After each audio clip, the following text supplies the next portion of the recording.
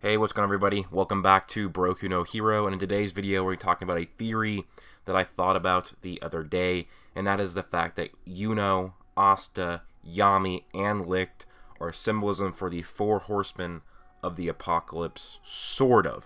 Now, I actually posted about this theory on the Black Bulls subreddit that I created a few days ago, so if you want to join a Black Clover subreddit, that'll be linked in the description below in the subreddit. It is a subreddit for Black Clover with a main focus on the manga. So if you're an anime only, you're probably not going to go to that subreddit or else you'll get spoiled a lot.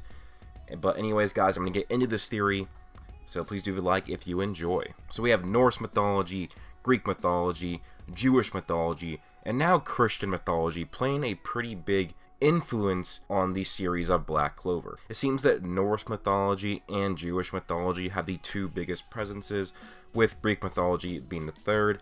And if this theory is somehow confirmed or just symbolism, then Christian mythology would be then one of the least influences on this series. So, if you don't know, the four horsemen of the apocalypse are entities from Christian mythology in the New Testament, where basically each horseman represents something and they are four different trials and precursors to Judgment Day, the basically the end of the world. And so I was thinking about this because we have four swordsmen now. Yuno has a sword now, then we have Asta, Licht, and Yami.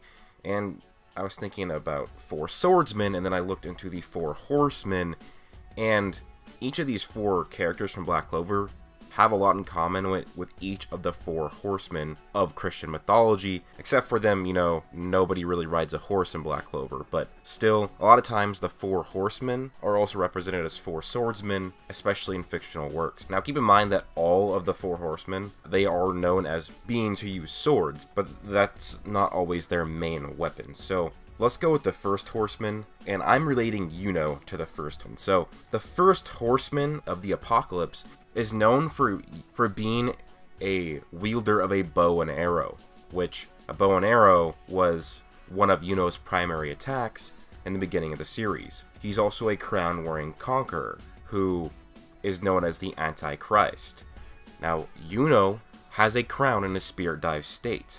He sort of wants to be a conqueror because he wants to be the Wizard King, and the Antichrist is somebody who is not Christ. He's the false Christ, which might mean that Yuno is set up to be the false Wizard King, as Asta is really going to be the real Wizard King and not Yuno. Also, the first horseman has a white horse. Yuno is white in his elf form, just like that first horseman. Ho first horseman's white horse. And also, like I said, all these horsemen are known as swordsmen, and now Yuno can wield a sword. Now, the second horseman, which I'm going to relate to Asta. The second horseman is known for his red horse and a giant sword. Asta's grimoire is tinted red, and his eyes are red in his black form, so Asta has the color tie to the second horseman. And of course, the second horseman wields a giant sword. Asta wields the Demon Slayer sword, which is a giant sword. And when it comes to the second horseman's what he represents, he represents war. And Asta, he is a magic knight. Knights are known for warring, although this kind of applies to a lot of these characters that are I'm representing these for. But I mean, Asta is just all around brawler. Now, the when it goes to the third horseman, that would be Yami. The third horseman rides on a black horse. Yami wields black colored dark magic. And the third horseman is symbolism for destruction, devastation, and chaos. And what leads from, what stems from these three things is famine. Yami is a very chaotic person who leads a very, very chaotic squad. He's known as the Lord of Destruction according to legends that citizens pass to each other. So we have Yami, who is known for darkness, and he is one of the four people who wields a sword, and the third horseman rides on a black horse and is known for destruction and chaos. This is exactly what Yami is known. Now, the fourth horseman, he rides a pale horse, which matches Licht's pale skin. And the fourth horseman is the horseman of death. Licht is the only one of the four characters mentioned to have actually died before, as he was killed at his own red wedding 500 years ago. The fourth horseman is supposed to have the combined characteristics of the previous three horsemen, and he does. He huge comparisons to Yuno, Asta, and Yami. First, Licht and Yuno are connected in both being elves, and Yuno being the vessel for Licht's son. They are also both wielders of the four-leaf clover grimoire, and Licht and Asta are connected in that they both have the same swords and the same exact grimoire, and share the same ideals of peace and Licht and Yami are both involved with darkness. Licht losing himself to the darkness, which he actually became a dark elf for a very short time before it was reverted on the day of his own red wedding, and then becoming the feared ancient demon. And also, Licht wields a demon slayer sword that is corrupted with anti-magic, which is basically the sword has gone dark and black, which also fits you know, Licht's overall persona. Now, in this story, it seems the Four Horsemen may be the, the opposite. Instead of bringing the apocalypse, they will avert it by defeating the devil. Now, this makes a lot of sense why these four would defeat the devil. First, Yuno, He just got a new spell, and it's a sword that can damage the devil's crazy otherworld magic. Asta has anti-magic and a new spell of the Black Divider, which can damage the demon's otherworld magic, or the devil.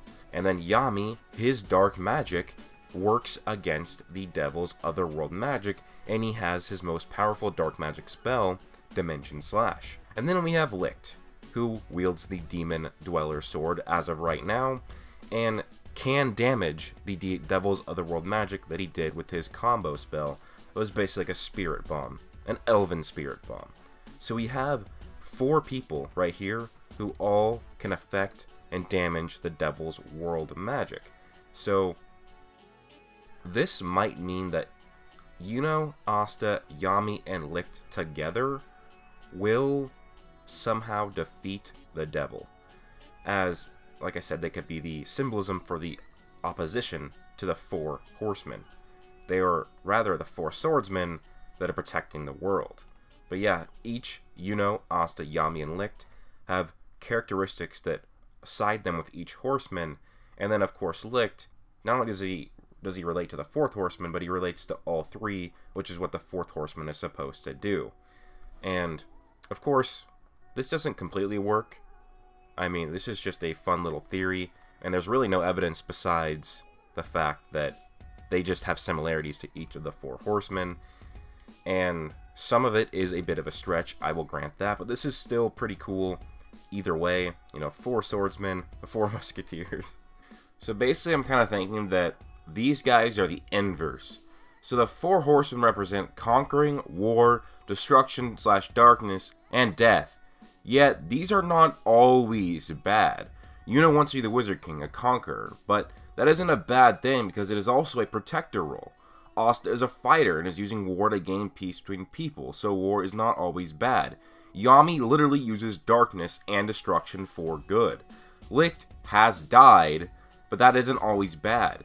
This is reaffirmed by the elves being re reincarnated, making them more aggressive because the reincarnation magic is forbidden. So all Yuno with conquering, Asta with war, Yami with destruction and darkness, and Licht with death, all four show that these things are not always bad, and that is why these four together will somehow do some sort of combo spell or do some sort of team up and defeat the devil. Now, I know people are going to say, well, what about Patri and what about the first Wizard King? They can sort of have swords too. Well, with the first Wizard King Lumiere, well, he has never, I don't believe he's ever wielded a sword. He just has used a sword attack. And then Patri, his main attacks with the swords are to launch them, not wield them, although he has wielded them at two different times. Once versus Yami, and the other versus Julius, but it seems to be one of his much lesser attacks and spells, so that's why I'm not including him within this, and also I don't see a lot of connections between the four horsemen like Asta, Yuno, Yami, and Licht do. Either way, guys. Yeah, what do you guys think? Do you think that Yuno, Asta, Yami, and Licht will together defeat the devil? I mean, it seems to be somewhat foreshadowed, as Yami did say in the last chapter that he has room for one more Dimension Slash left, and he's going to be joining with them. If you combine that with both Asta and Yuno just getting a brand new spell, and Licht still being there fighting the devil, it seems there might be a four-way combo spell with combining all four of their swords. Maybe kind of like when they did when it was Rhya, Rill, and the other elves and they did their combo spell against Mereoleona, maybe Yuno, Asta, Yami, and Licht will combine their four swords and do a sword combo spell, and that's how they will defeat the devil. But that's just my thoughts, guys. Let me know your thoughts down below. Please do leave a like, comment, and subscribe, as well as to turn on notifications to be notified every time I upload a Black Clover video. Plus...